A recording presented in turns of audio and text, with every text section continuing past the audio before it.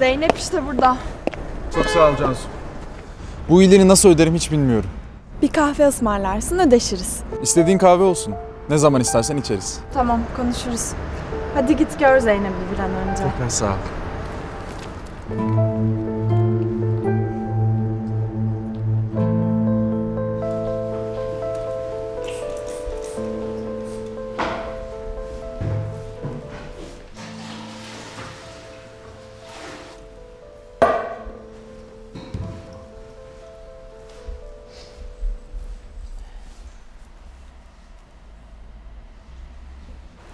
Zeynep.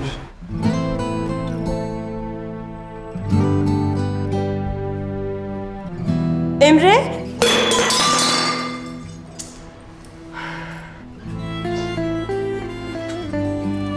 Zeynep dur. Of elim. Dur bir bakayım.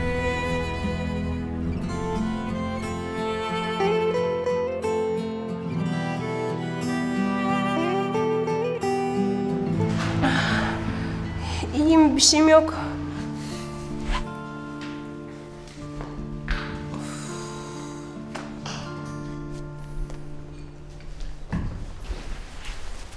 İzin ver de bir temizleyeyim. Gerçekten gerek yok.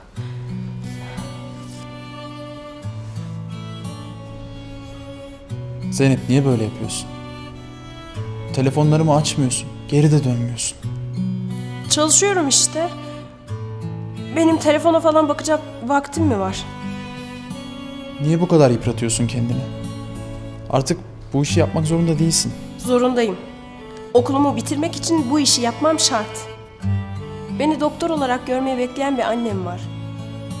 Onun hayallerini gerçekleştirmek için burada bu işi yapmak zorundayım. Anlamıyorum seni. Ben de anlamanı beklemiyorum ki zaten. Senin hayatın sana altın tepside sunulmuş.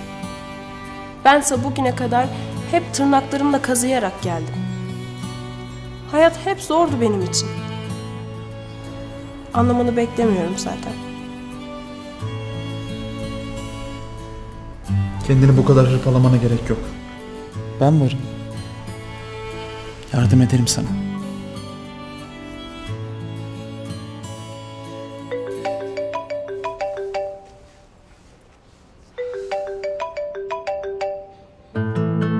Sak- sakın benimle birlikte olduğunu söyleme annene.